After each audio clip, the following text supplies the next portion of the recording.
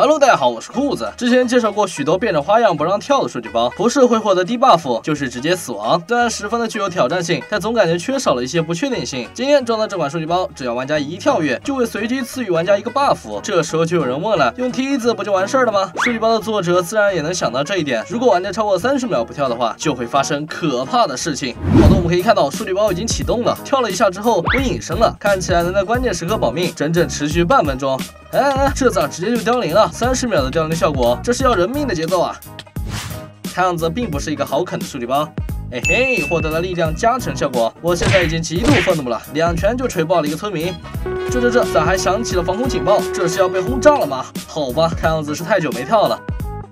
难道是我脸黑的缘故吗？就算是正面 buff，也经常给水下呼吸这种没啥用的，至少现阶段也没有海洋。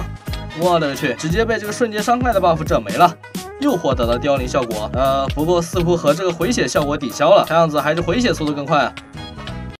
啊，这咋还飞起来了？也不知道这三十秒时间够不够飞到水面上，不然又要凉凉。运气不错，这还获得了失明效果。嗯哼，不过在我光影的加持下，这失明效果压根就不是事儿，不能算是低 buff。啊，这咋又又又又凋零了？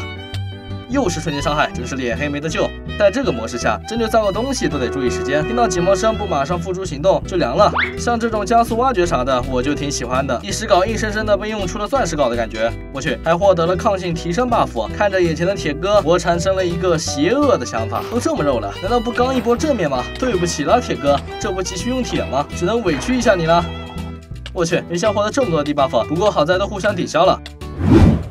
其实只要运气够好，这个数据包还是不难的。成功向的矿洞底下挖到了钻石，在不获得漂浮效果的前提下，能一次性获得这么多的 buff，可以说十分之壮观了。好了，那么今天的时间也差不多了，我是裤子，我们下期再见。